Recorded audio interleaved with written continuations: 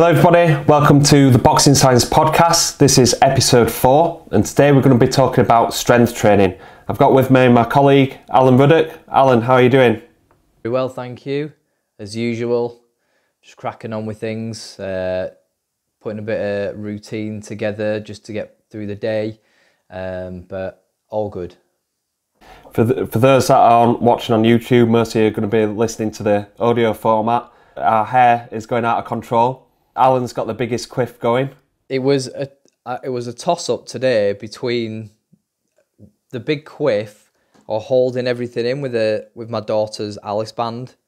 I think you, I think you need to go to David Beckham 2003 look. know when he signed for Real Madrid. Yeah, and he had shaved all down there. Yeah, yeah. Okay, so this podcast we don't just talk about hair uh, and lockdown. Uh, we talk about uh, sports science in boxing and combat sports. And today we're going to go into um, like one of our more structured episodes around a certain topic. And today we're going to be talking about strength training, which is getting more and more popular within boxing. You know, we've been around boxing since uh, 2012, and the level of strength conditioning is increasing, is improving, and you know you might be listening to this, you might have a good idea of of why you do strength training. Uh, some of you might do strength training but not know the reasons why and how to structure that. And so today's episode is all around giving the scientific evidence of why strength training is so important and how we implement like strength training methods to work towards a purpose but also work around the limitations that boxing has because there's certain things like movement, there's weight restrictions, there's high training loads in boxing and conditioning, loads of things that we need to compete with as strength and conditioning coaches. First of all, Alan, uh, as we start with everything that we do, we started with a scientific purpose. So when we're looking at strength training for boxing, we want to know what contributes to a forceful punch. So we, we'll kickstart with the science behind the punch. Yeah, so if we're thinking about how best to improve physical performance, then we really need to try and reverse engineer what makes a successful performer. Um, and in boxing and combat sports, it's what makes an effective punch. So, I guess number one, the coaches that will be watching straight away will think about accuracy of the punch, where that shot is landing. Um, and then all the, the technical aspects around that, what's going to come next, um, where the the athlete is in that particular round in terms of the strategy, etc., etc. But what we're interested in is to strip all that away and boil everything down to its smallest component so then we can build that up and that helps us to reverse engineer performance and look at what contributes to effective performance and identify aspects and parts of the system that we can manipulate through training to then improve performance. So when we're talking about punching and striking, in general, what we're talking about is applying a lot of force to a particular target in a short space of time. A punch is delivered in around about 200 milliseconds or even faster. So that's a very, very short time frame in which a boxer has to produce large amounts of force in order to be effective upon impact at the target. Now, what we use to describe or unpick how effective a punch is is something called the impulse momentum relationship. And this relationship has been used for centuries, hundreds of years. We send space rockets up out into the orbit using this very simple equation, but it's got four parts to it. The, the, the first part describes impulse, and all impulses is the force that's applied over a certain amount of time. So when we come to talk about in a, in a few moments' time about um, the impact, we can talk about impulse on impact, but you can also talk about producing force over time and producing force quickly. On the other side of the equation, we have mass and velocity, which combine together create momentum. So we can manipulate force and we can manipulate momentum. So when we're talking about ways in which we can manipulate training to improve forcefulness and the effectiveness of a punch, we can look at the variables within this simple equation and try and manipulate them through training. Absolutely. So when we look at like um, developing impulse, we would look to use strength training. Um, there's a lot of different ways that we can uh, do that. We can do that either uh, light and fast, or we can do it heavy and slow. And we're going to be talking a little bit about um, like you know how we select the different training methods that we use a little bit later on. But mainly we use strength training to try and develop impulse because we're not wanting to improve momentum because we have to put on muscle mass and we're in a, a weight category sport. So the, we're going to go into different ways where we can improve momentum in a, in a, in a while.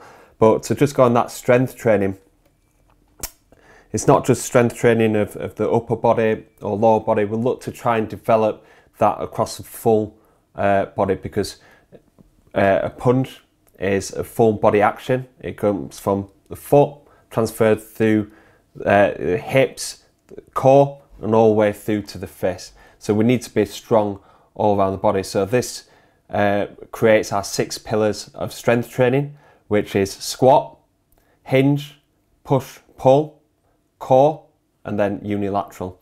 So squat is like a squatting exercise, such as like a goblet squat, back squat. This is to get our legs nice and strong, being able to uh, push through the floor, dip down, and really drive into our shots. Then we've got hinge pattern. This is really important to uh, strengthen the posterior chain as that contributes to fast and forceful hip extension. Then we've got upper body push and pull. This is quite um, obvious to, to try and develop because obviously we're, we're propelling the hand forward towards target and then we're pulling it back into our chin, whether that's a single shot or combination punches. We need to be all strong around there. And plus, there's high forces going through the punching arm, the upper body, and our, our upper body needs to be strong enough to uh, withstand that. And there's two different areas that we use uh, pushing and pulling for both. We use horizontal and vertical push and pull. So horizontal push and pull would be um, a horizontal push would be a press up or dumbbell chest press. A pull would be a bent over row or cable row. And then your vertical push and pull. Vertical would be like your overhead press, your uh, push press, your dumbbell chest, uh, dumbbell shoulder press, and then your pulling would be something like pull-ups or cable pull down or lat pull down.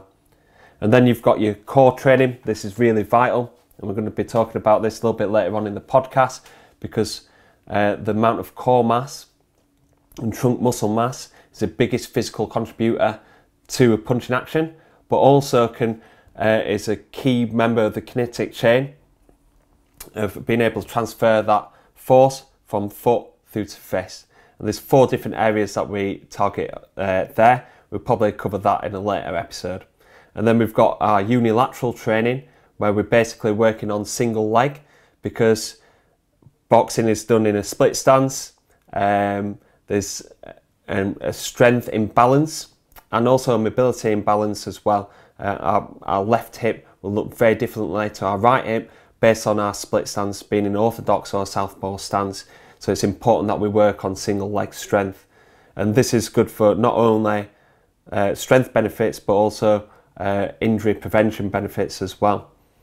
So we're talking about mostly impulse there and we're wanting to get strong, we're wanting to improve maximal strength. Uh, why would boxers want to do that instead of just working on fast explosive actions because you just mentioned there that the punch is performed in a blink of an eye under 200 milliseconds. So why would you need to do a heavy deadlift or a heavy squat? So if we go back to the, the physics and we look at this equation of the impulse momentum relationship, the equation is Ft, which is force and time, equals mv, which is momentum. So if you can produce a lot of force, you can also produce a lot of momentum. Now, a lot of our, in fact, all of pretty much all of our boxers, apart from heavyweights, have a weight restriction. That means we can't manipulate the mass portion of the impulse momentum relationship. So, what we can only work on is the speed of an action in that part of the equation. Okay, so now we can't add any additional mass. We can't contribute to uh, changes in momentum through increase in mass, which would be the most obvious way of doing it. If you get bigger, um, get more muscle, then you can create more momentum in that way. We can't can't do that. So what we do is we use the force side of the equation, which equals velocity. So if we get stronger and we can apply more force in a short amount of time, then we can improve the velocity of a punch. And as, as we all know, that velocity is critical in terms of performance, not only from a physical perspective, but also from a, a technical and strategic perspective as well, both in the upper body and in the lower body. So by working on strength, we can also have improvements in velocity. And we know we also know that athletes who are strong can also produce a lot of force in a short space of time. And that's been well established for a few years now. So the, the stronger an athlete, the quicker they can produce force. The faster they can produce force, the, the greater the impulse and the greater the velocity of a, a punch or a striking action. So it's really crucial not only that we spend time, yes, considering velocity, but that foundation of velocity and speed is rooted in forcefulness. Absolutely. And uh, just going off that is that with our more advanced athletes, we do. Uh, just going off that is that with our more advanced athletes, we do work across the load velocity curve where we're working a range of different strength and conditioning methods. Some will be like heavy trap bar deadlifts, and then some might be loaded or unloaded jumps, uh, very punch specific work as well, um, doing med ball uh, punch throws or landmine punch throws, something like that, something fast and explosive and looking more like the sport. But when an athlete first comes into uh, boxing science, we do a load velocity profile where basically we challenge their ability to produce force and speed at incremental uh, loads. And we found with our data is that boxers tend to be more adaptable and, and more able to produce fast speeds at the lighter weights and then that kind of declines as the weight goes up that that relationship uh, is is affected. So they're not able to produce as much force or as much speed working at that at their maximal loads uh, compared to like your, your rugby players football players uh, general kind of strength training populations. And the reason why for this is because boxers don't have that training history.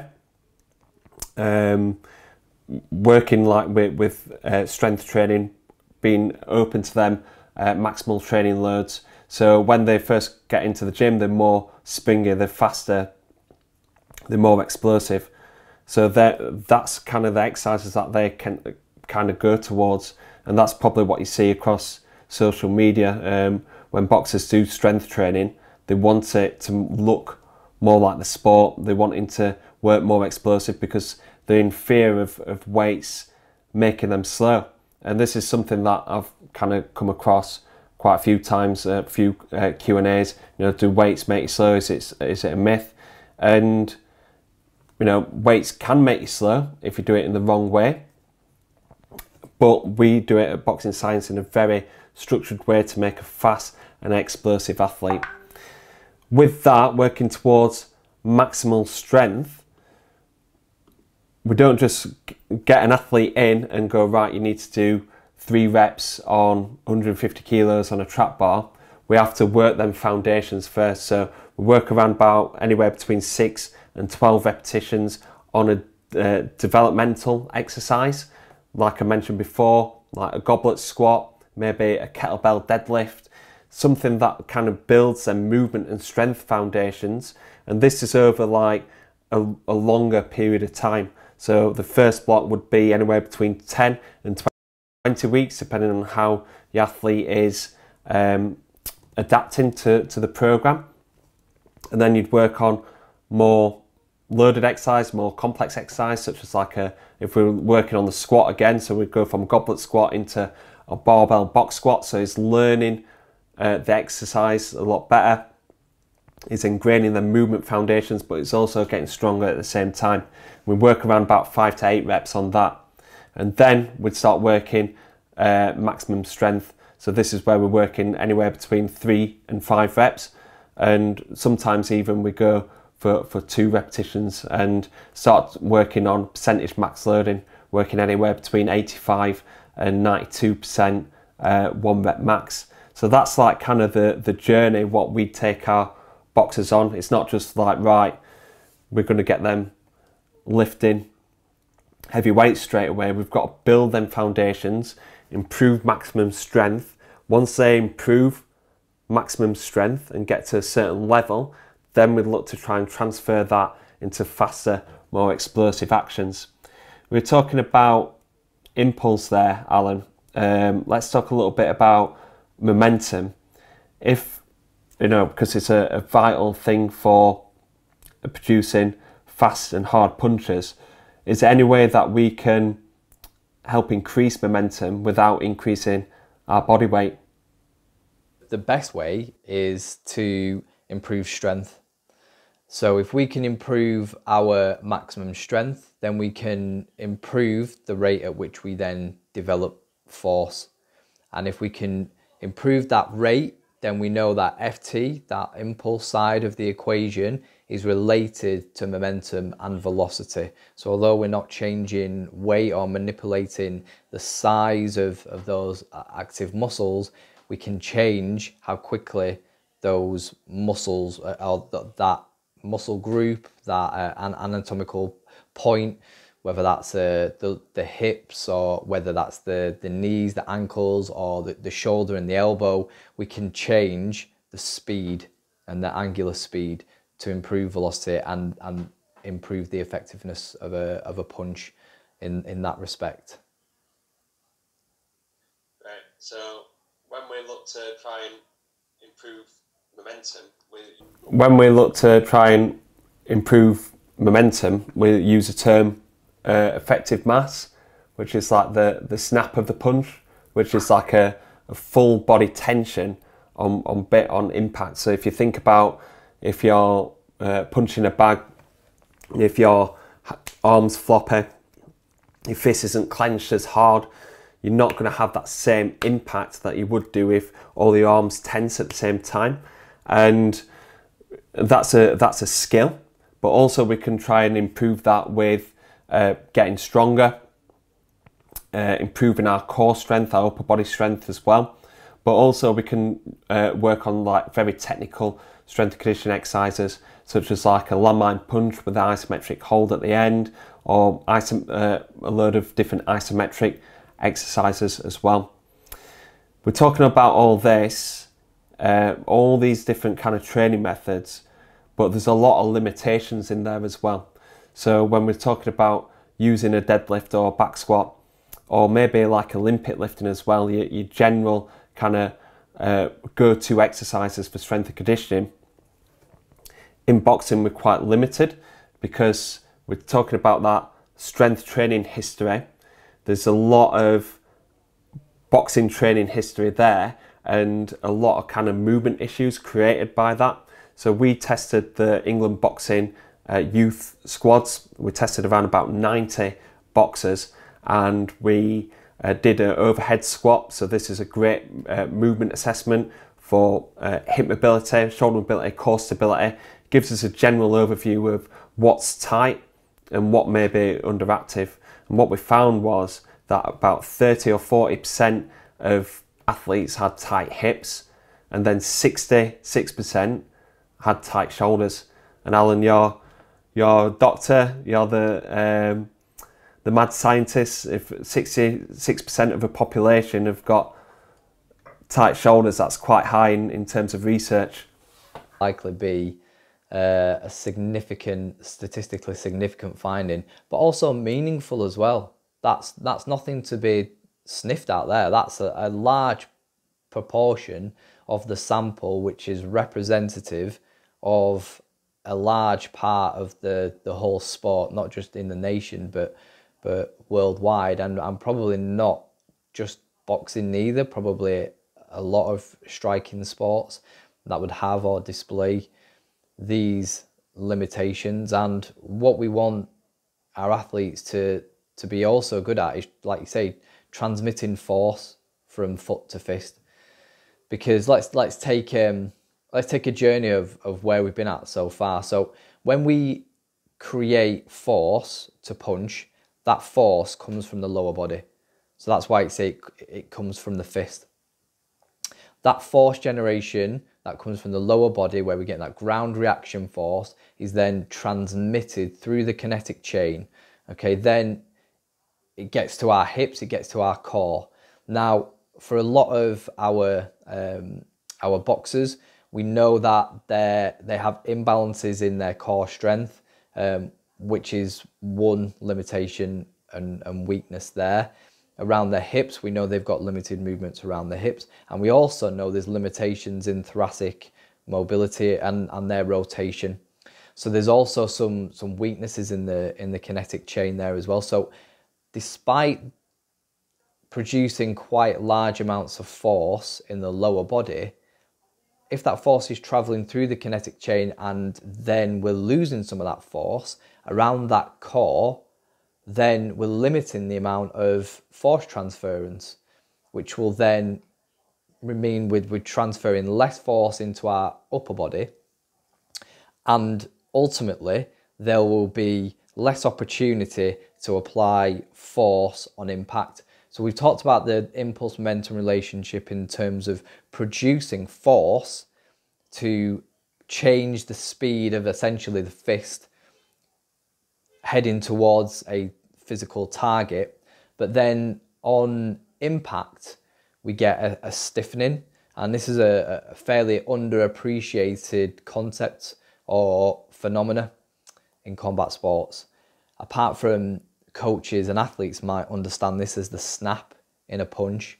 So we've not only got impulse being transmitted throughout the body, we've also got impulse being transmitted on impact as well. So we've got a stiffening, so we have a relaxation during the punch, and then we have a stiffening on impact as well. Now, you mentioned a few moments ago, Danny, some of those exercises which you can use to improve that snap of the punch, and that's really important. And that's a different type of muscle action compared to the concentric actions that we've used to, to generate that force, to generate that speed of the fist.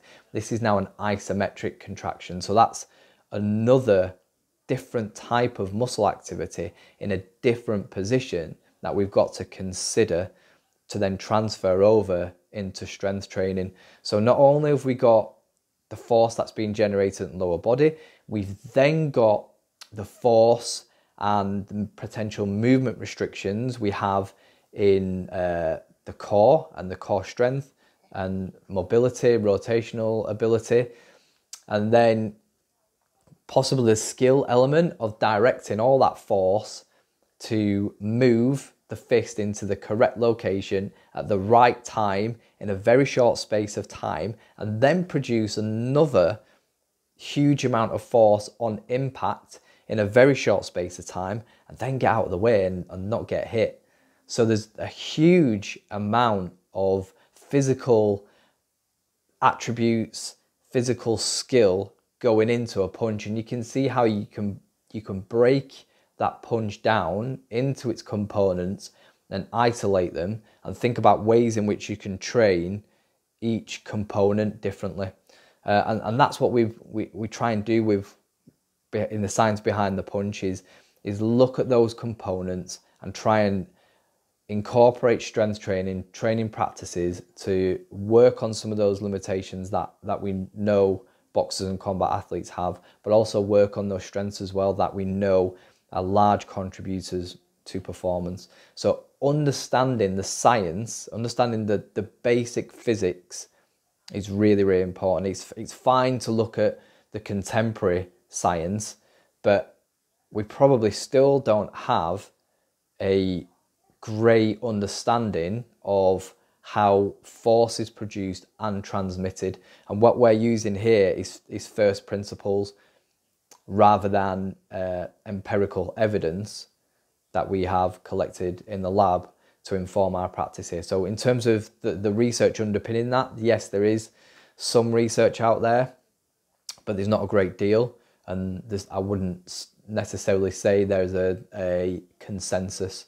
So what we're trying to do is still trying to unpack performance, uh, look at it in its constituent parts, and try and build our training philosophy philosophy upon well-grounded first principles, which I think is uh, a very important consideration in any sport that you're in.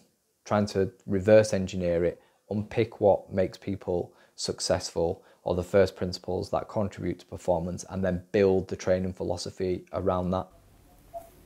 Yeah, absolutely. Any kind of um, uni- like university student or former university student listening to this will know the the importance of a, a, needs analysis and this is basically an overview of the needs analysis that that we did when we first getting into uh, boxing. The one thing that he said there about uh, the relaxation part this is a, a key component of delivering a fast and forceful punch but it doesn't really sit well into maximum strength training because they're used to really exploding relaxing and then reproducing that force at the end. So a lot of the boxers that we train with uh, struggle with the, the sticking point of, a, of an exercise. What I mean by the sticking point is halfway through the, the movement. So let's say a squat, for example, halfway up through the squat, they'll lose that acceleration that they got from the uh, bottom, that uh, original kind of concentric action,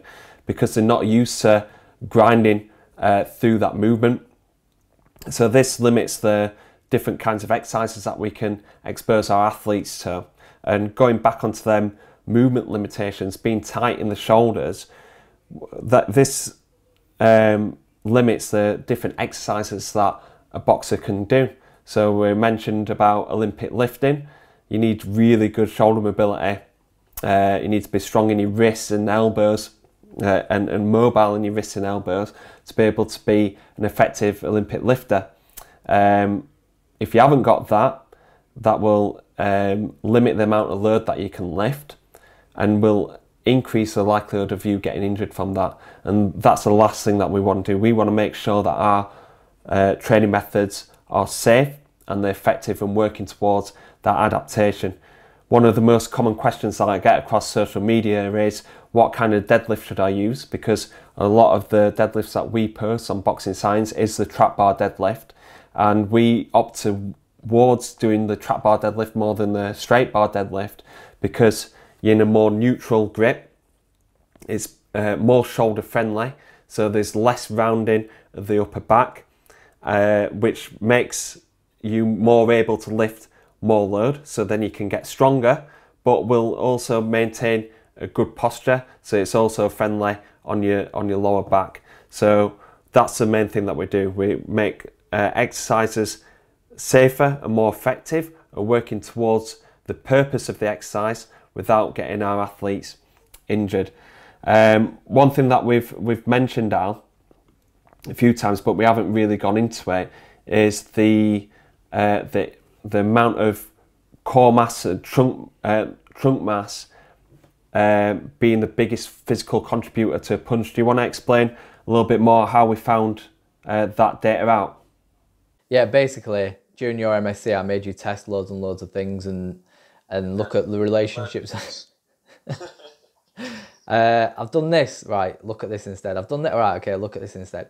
But um, so way back years and years ago, when you did your master's dissertation, we had um, two different types of of testing there. One was a a, a med ball throw from the backhand stance on on uh, the right and left sides, and the other was a an assessment of body composition. Now, we're lucky enough to have a, a segmental body composition analyzer in the labs, so we can look at the amount of lean tissue in the right arm, the left arm, right leg, left leg, but also the core as well. So one of the analysis that that you did was you looked at what the physical contributors might be to someone throwing that med ball far. And again, if we apply impulse momentum relationship to, to that test, if you can throw that medicine ball far, it's likely that you're producing a lot of force that will then contribute to velocity. And that velocity of the, the ball at release will determine let's take away the angle. Let's say you've got an optimal angle on there. Will determine how far that ball is thrown. So if you can produce a lot of force, you can produce a lot of hand speed.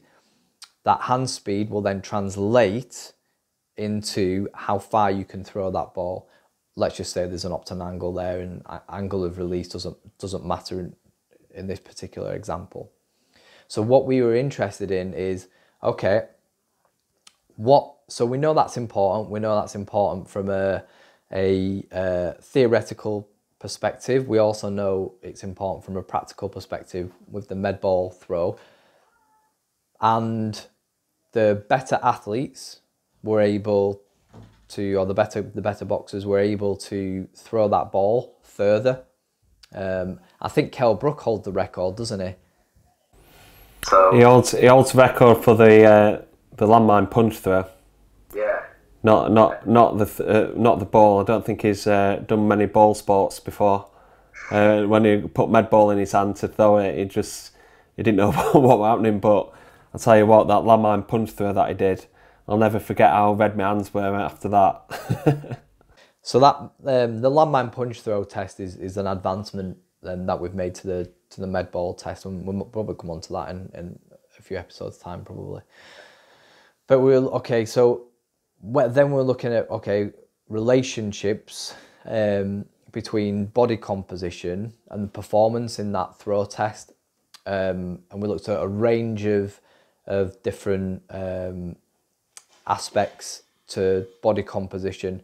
But one of the relationships that that we found that had uh, a strong relationship, one that explained a lot of the performance in that medball test was relative core mass. And at that point, when we had, had found that relationship, was like, okay, core strength, core mass um, is very important to be able to uh, punch effectively. And that has also formed part of our training philosophy. So, what we've done is we've taken performance measures and science underpinning that performance measure uh, and some practical elements of it to make it look like a striking punching action from the backhand.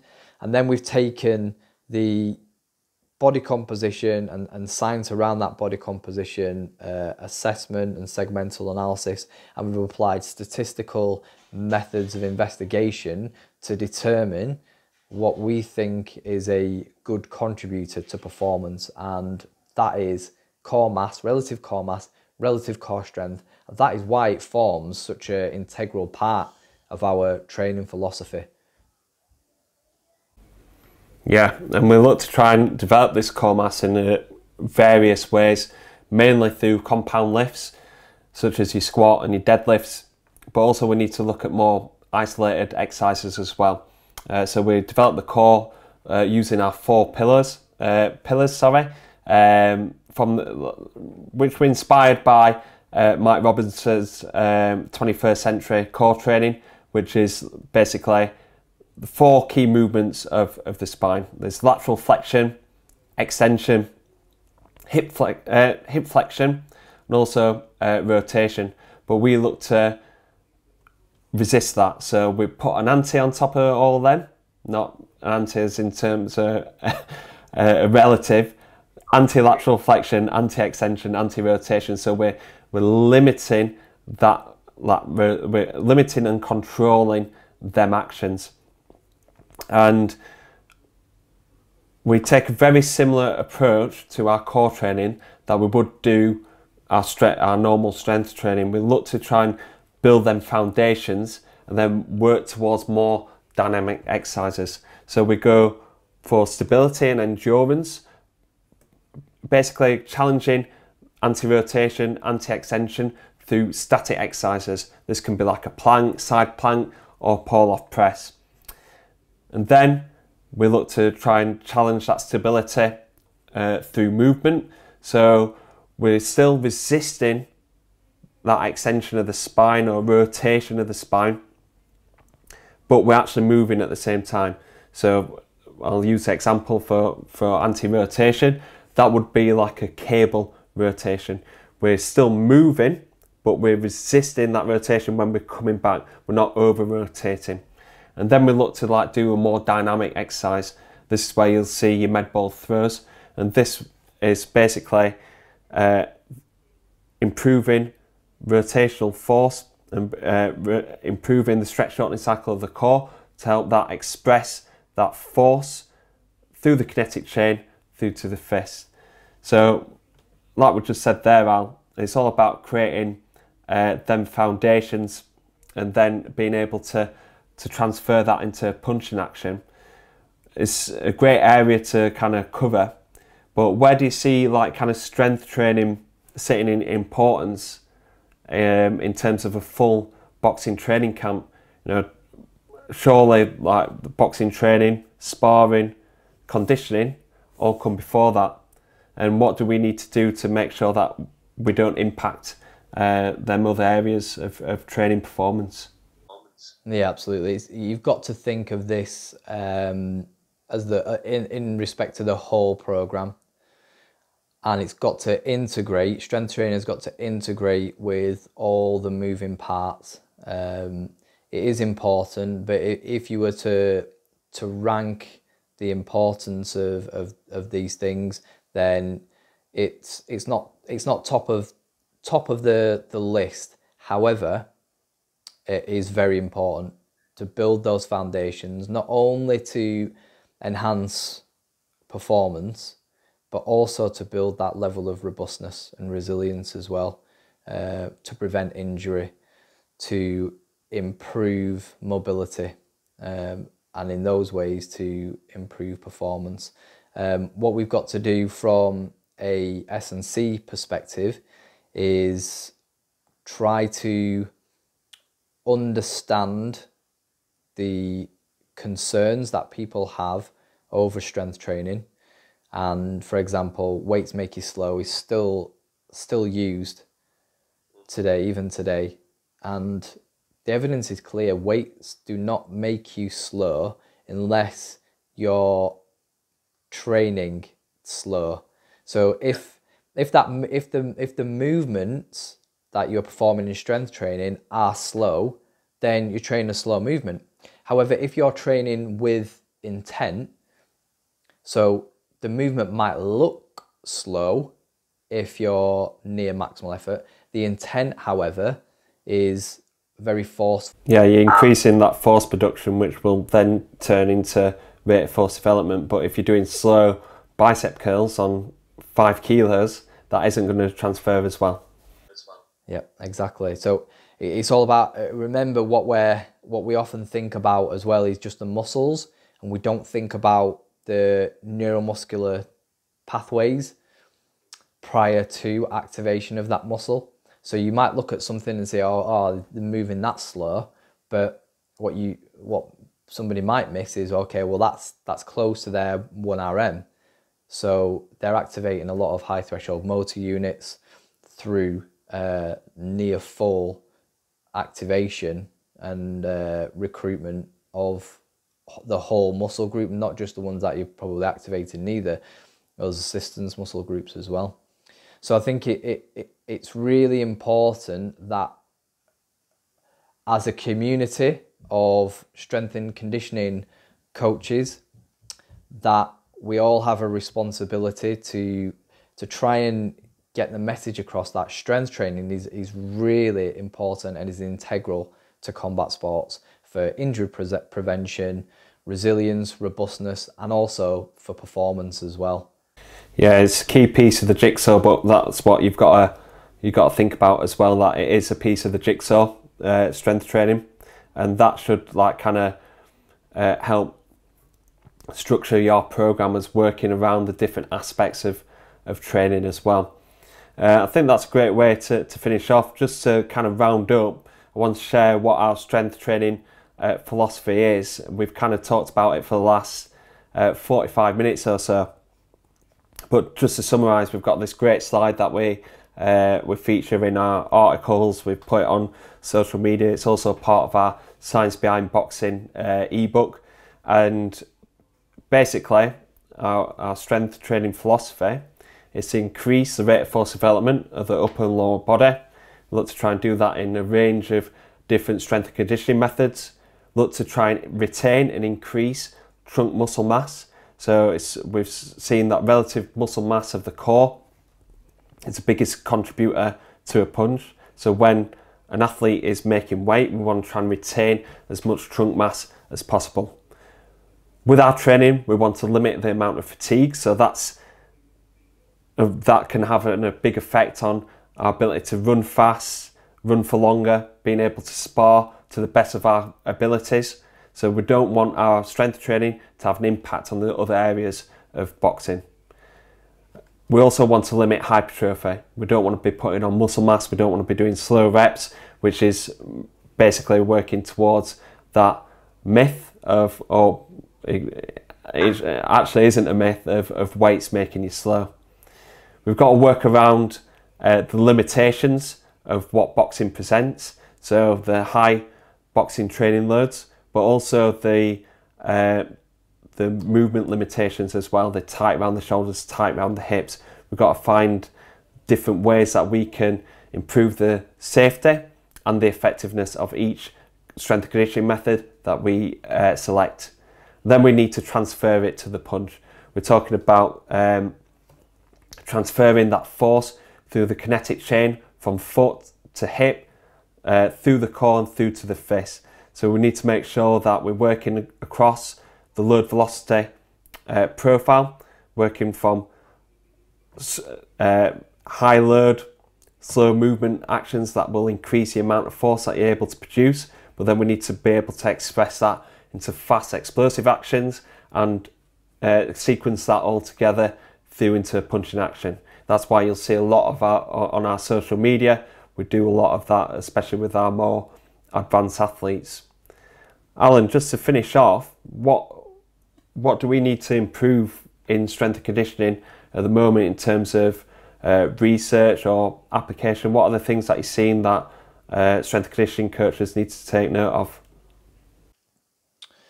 Um, I think and this is important for for every coach is is to have uh, a philosophy of training that's rooted in evidence, scientific evidence, not just an observation. Observations are important. So, for example, an observation, you look at the sport and you look at the movement and uh, movement profiles and activity profiles of, of that sport and you try and replicate that. I think it's important that all S&C coaches have a philosophical um, strategy um, approach to training that is based upon first principles. So looking, like I said, looking at the, the contemporary scientific research is absolutely fine, but strip it all back and look at the very, very basics of performance um, and try and reverse engineer it as, as much as possible. And then you can start to, to build a philosophy from that. Having said that, I still, and I've mentioned this a few times already, we still don't have a great understanding of how those first principles translate into performance because boxing performance, combat sport performance is very dynamic, complex, variable. It's hard to control in the laboratory. Um, we don't have uh, a great understanding of how strength training translates to the true effectiveness of a, of a punch, primarily because we do lack the um, access to the technology that can assess punching force. So, like a, a, a wall mounted um, force plate, for example, which would be gold standard, but also how that force then translates to accuracy.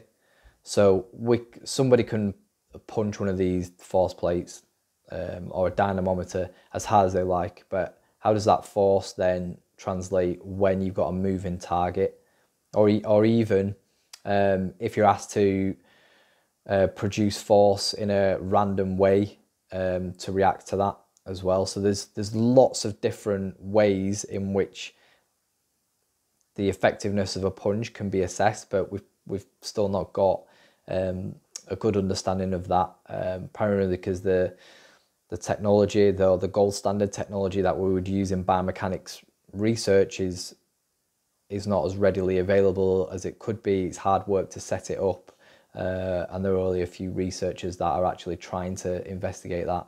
And we made um, a decision a long time ago to focus on preparing athletes for competition rather than looking at the research uh, and investigating the re- research per se on what contributes to an effective punch because we think we can make more of an impact in that way than we than we can producing research on what makes a, a forceful and effective punch and we'll wait and we'll work with the clever people that are in the biomechanics lab doing the, the hard work to do this and then we will then translate into performance.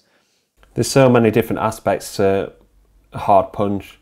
Um, if you get a punch dynamometer, it's all about the, the timing, the speed, uh, the amount of effort that that boxer's willing to put into um, punch that dynamometer as, as fast and as hard as possible. And when you're actually in the in the boxing ring, how often do you get to kind of wind one up? It's all about timing and, and accuracy as well. So it's it's hard to get a, a true understanding. But I think that we've got that scientific kind of basis to have, have like some strong evidence that can what we need to do to work towards that. And I think I think that's good enough. It's never going to be uh, perfect. And uh, something that I want to um, I, want to finish on. Um, I did a podcast the other day with uh, Matthew Smiley from uh, Fatality PT. Uh, on his podcast, he asked me what are the non-negotiable exercises. He expected me to say trap bar deadlift or power clean or whatever.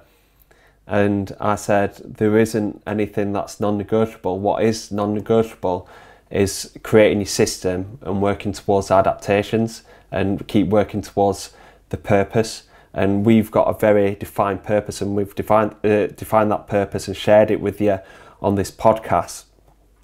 And everything is filtered towards that depending on the equipment that's available to you uh, the limita- movement limitations and the training history of that athlete and the time frame that you're working on as well and what your goals are but we're always working towards this kind of this uh, this uh, working frame of the science behind the punch, developing a lot of force in a short amount of time. Our six pillars of performance, we're looking to not affect uh, boxing training. And I think a lot of people listening to this might be thinking, right, this works well for me, or they might want to develop their own system. I think that's really important as well. You, you can't just go on a course and then just pick up all the boxing science methods. You've got to be comfortable in taking a few bits of what we're saying and start putting it into your own training philosophy. You know, you don't have to be get working towards them gold standard exercises or have non-negotiable exercises, but make sure that you define your strategy and your purpose of your training for the athletes and, and for you as a coach as well. Mm. Great, what a great answer that is, mate. Fantastic answer. A fantastic answer to my own question that I've just made. Train the adaptation, not the exercise.